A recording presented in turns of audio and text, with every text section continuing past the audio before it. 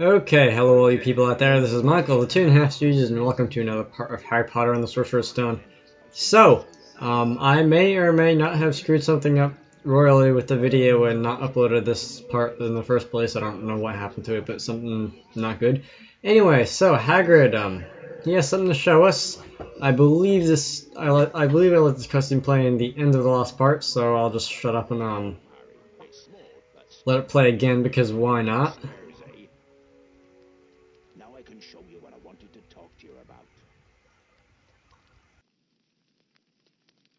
a dragon's egg, Harry. But it's our secret, mind you. The egg is in a very delicate stage. I can't leave it here alone, but I need some fire seeds to give it that last burst of heat to make it hatch. Harry, can you fetch me some fire seeds? I grow them in caves out in the garden. I need you to collect as many fire seeds as you can find. Careful, though. They're spitting fire and the seeds are hot. Let 'em cool down before you pick 'em up. Off you go then.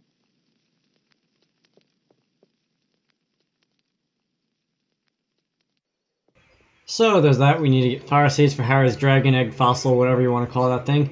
Uh, let's see. Alright, so I'm just going to take a look around this. This is um, goat pens over there. And that is another place that we come later. That's the exit of the fire seed caves, actually. That over there is um, the entrance to the Forbidden Forest, or the main part of it anyway. Pigs, they don't do anything if you hit them with uh, Rictus like you do in Chamber Secrets because you don't have Rictus in this game. Uh, okay, so... Don't get away from me, you are annoying. Um, if my voice sounds a little weird or if I suddenly stop short today, I don't know what happened. I kind of have a sore throat, which I didn't have like five minutes ago. I don't know what happened. Um, it's the middle of summer. It's weird. I don't have anything else. But also, um, you may. I don't think anyone really has been watching this playthrough that closely, but you may notice that this has been uh, uploaded out of order. Like I said something briefly about earlier, I don't know what happened. I didn't upload this segment of the game, and I'm I was uh, going through it to do the annotation directory board thing at the end, and I suddenly realized I didn't have anything for fire seeds. So I looked through my computer. I didn't have. Wh- why did I cast Alohomora? Was there a chest over there or something? There's no chest over there. I, mean, I saw the blue key things with Alohomora. Um, or game glitches.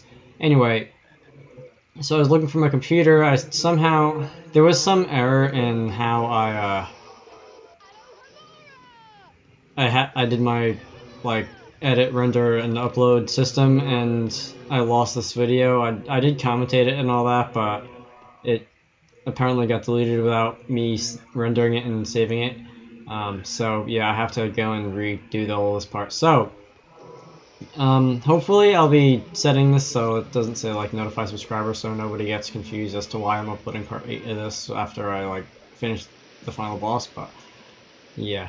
Anyway, so I just spent three minutes talking about how I'm a bonehead. Uh, let's move on to something more exciting.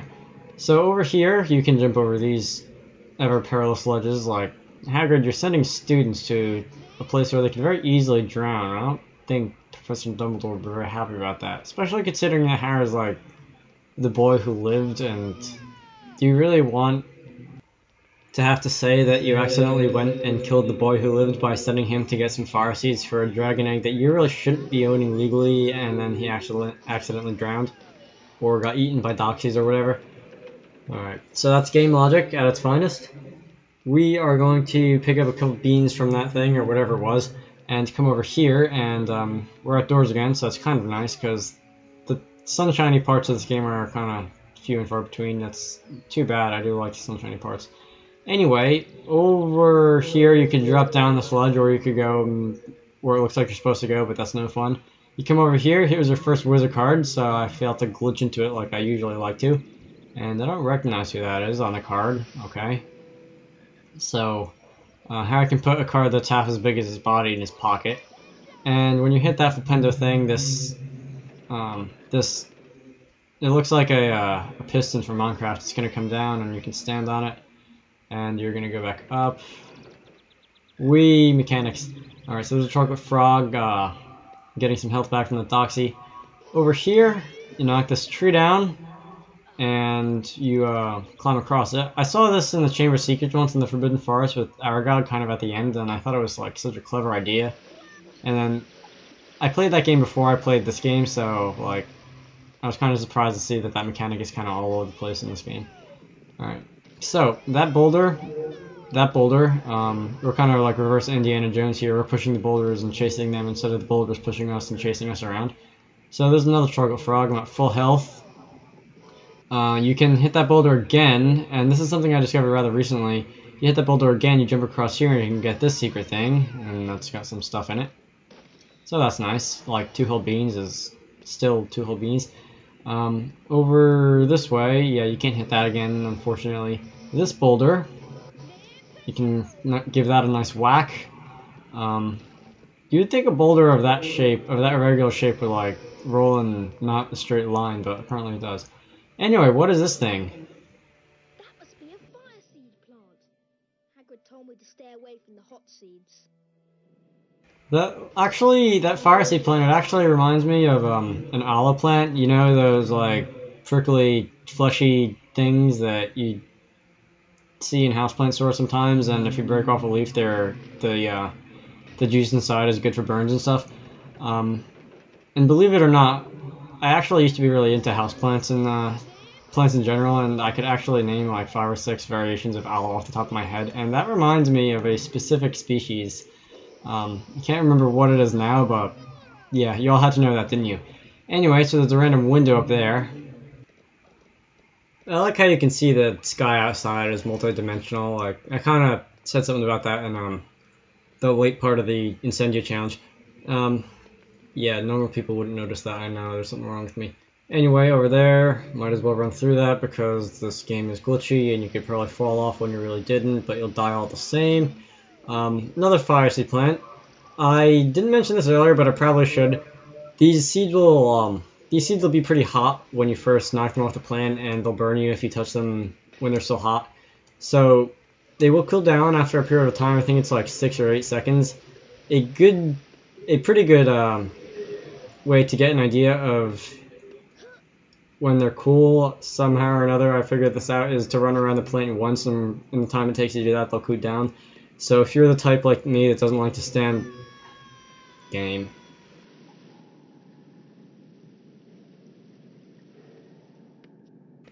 as I was saying, if you're like if you're the uh, type like me who doesn't like to stand still for anything, um,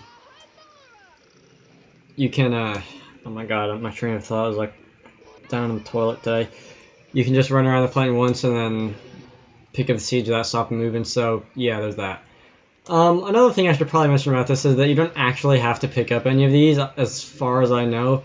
I've gone, well, except for the uh, original, I think, because that's like, the gate won't open unless you get them all. But I've gone through this in debug mode and not picked up any, and I think you can actually like get the reward at the end even if you don't collect any seeds at all if you like bypass the um, if you bypass the plant area with the using the ghost mode thing or if you um, use the console code to set the fire to zero when you're at the end um, it doesn't matter the uh, Hagrid will treat you like you got them all anyway anyway so another boulder and that beautifully cracks a hole in the wall and you can go through um, yeah, that was that's like among the best graphics of video game of all time. Uh, you can knock that fire crab over. What you're actually supposed to do with him, I think, is knock him towards the pit thing at the other end. Um, that'll get rid of him permanently because it's a bottomless pit. He won't get back. Come on, get out of there, get out of there. Right before it bites me. Um, yeah, I don't feel like doing that because I like fire crabs. They're among my favorite enemies in um, in Harry Potter. So, let's see. And we can get that. And up. Uh, there, there, you go with the real terrible range again. Um, yeah, I'm going to just... You know, forget what I said earlier about not hitting these things. I just have to do that because it's OCD and it makes me... Alright, so I'm pretty sure that's bottomless. I've never jumped down to find out. I don't really want to. but you can't see the bottom anyhow, and the fire crab can't come out, so that's all that matters, I think. Anyway, Aaron, climb up the ledge. Come on. You can come over here, you can go around this fork path, doesn't really matter which way, although I guess if you go to the left you can see that little secret thing with like two beans in it. Um, you, stop it. I don't like the way you're flailing, flailing, flailing your heads about like that.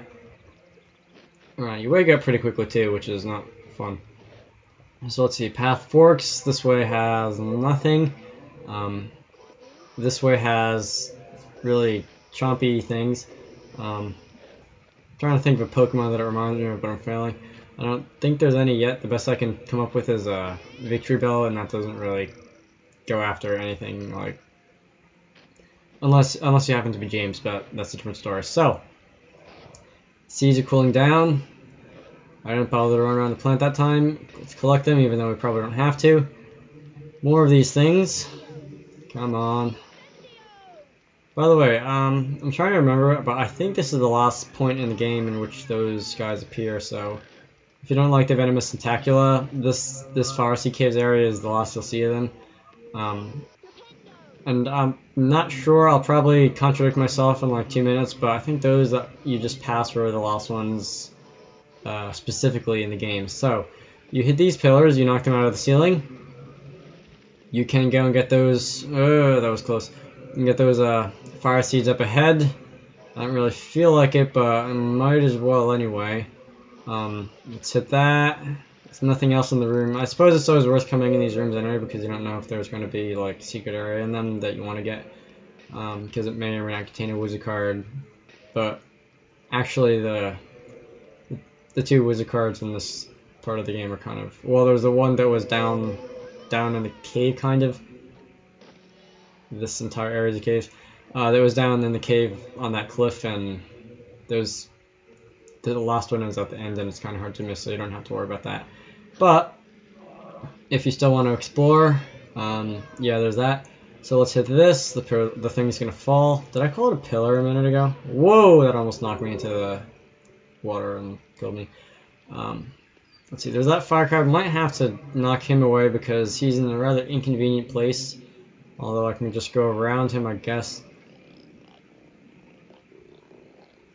Your range, it's like bad. Okay. So let's come over here. We're not gonna get like burned by whatever these things do to you. Uh, no, we're not. We're gonna come over here. We're gonna get out of here. Um, we're gonna glitch up the side of the wall because in normal English that makes sense. We're going to open that chest. We're going to open this gate. We're going to collect some four needless beans. Um, that thing that I just kind of pointed towards briefly on the screen is uh, where you would have came if you just went straight like through the thing with the fire crab. Um, Alright, so no, there's nothing in here.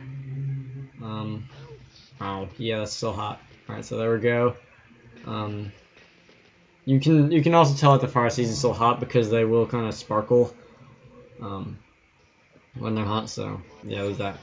Um, I want to say I missed something actually, but I don't think I did. You know what, let's, um, can I reach that? Probably not. Alright, why did I even bother? I'm sorry for wasting your time, people. Alright, so, trying this again. We're not going to get distracted. I didn't miss anything, by the way. And down here. So this is the exit. Alright, so that's the end of this. I'm going to be ending off this video here. It feels like I didn't get that much accomplished, but the timer is at 1410 right now, so um, I guess I did. We're not quite done yet, though, so we gotta go see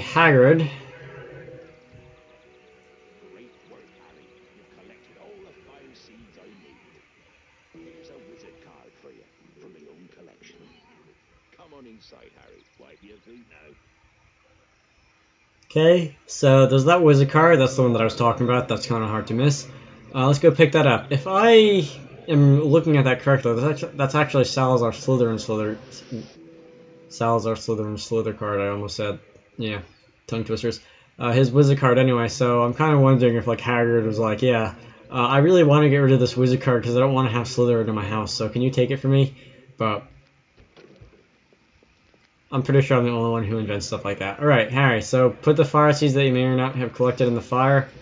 Um, it's going to start to vibrate, and the fossil's going to hatch. It looks like a fossil, I'm seriously. Um, Alright, you're way too excited about this, Hagrid. Then again, it is a dragon egg, and dragon are like, yeah, um, dragons. So,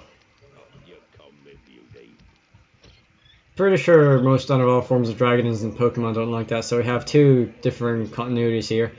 Anyway, uh, Hagrid's gonna give us the flute, which is like, what? Why do we need this? But it's it makes a brief appearance at the end of the game. You trust me. Um, I am going to end things off here, so I hope you all enjoyed that. Rate, comment, subscribe, watch some other stuff I have uploaded, and see you later.